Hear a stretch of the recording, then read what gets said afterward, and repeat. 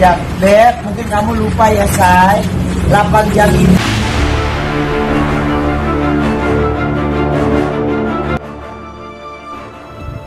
Barbie Kumalasari ngaku terbang ke Amerika hanya butuh waktu 8 jam.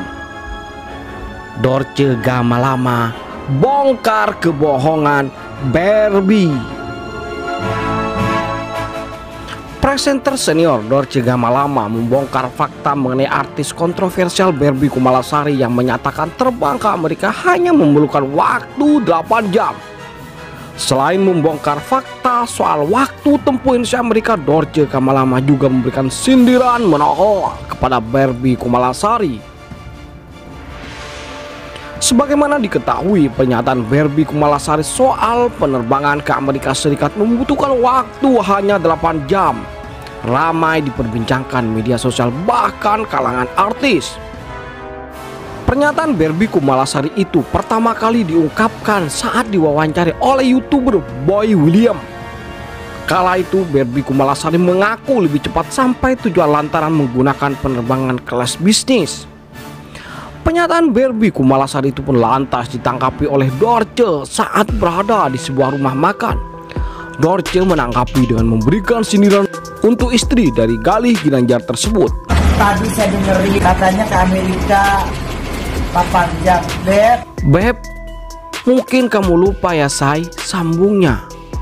Dorce lantas membongkar fakta mengenai lama penerbangan Indonesia menuju Amerika Serikat.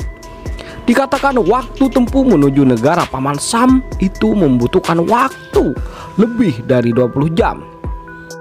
Kalau ke Amerika itu lebih dari 20 jam Saya bolak balik loh capek Mau bisnis Tak hanya itu, Dorce juga menjelaskan bahwa kelas bisnis dengan kelas ekonomi memiliki waktu tempuh yang sama.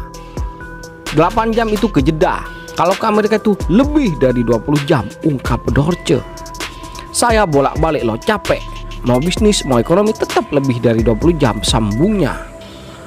Lebih lanjut, Dorce mengatakan waktu tempuh 8 jam seperti penerbangan dalam Asia, yakni penerbangan dari Indonesia menuju negara Arab Saudi. Jadi bukan 8 jam, kata Dorce. Yang 8 jam itu ke Abu Dhabi sama Jeddah. Jeddah aja 9 jam. Imbuhnya. Namun demikian Dorce menegaskan tanggapan yang ia sampaikan hanya untuk meluruskan pernyataan Barbie Kumalasari yang menuai sorotan. Aku hanya ingin meluruskan aja ya Ber.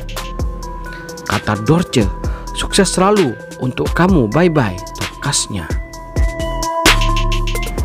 Itulah guys terkait dengan Barbie Kumalasari yang ketahuan telah banyak berbohong kepada publik terkait kehidupannya di Amerika Serikat.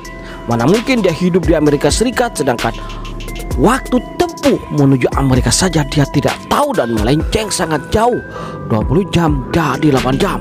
Lalu bagaimana menurut kalian guys? Jangan lupa like, komen, tentunya subscribe. Terima kasih telah menonton. Yuk, bye-bye.